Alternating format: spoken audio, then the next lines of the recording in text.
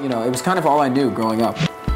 I, I literally played competitive baseball from the ages of like 8 to, to 18. Should I take a How far? How far do you think you? Well, no, this thing won't go anywhere. It's gonna explode. Oh, it's gonna If it was a baseball, I'd hit it into the abyss.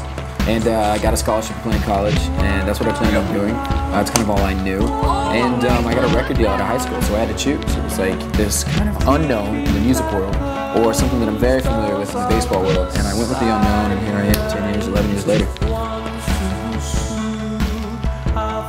You know, I think in general to be naked means, uh, I guess, to be comfortable. Because some people would flip it and be like, if I'm naked, I would be so, I would be so embarrassed. And for me, it's just about being comfortable in your own skin and, uh, and you know, being natural and, and who you are. I guess that, that's my version of, of, that's my take on being naked.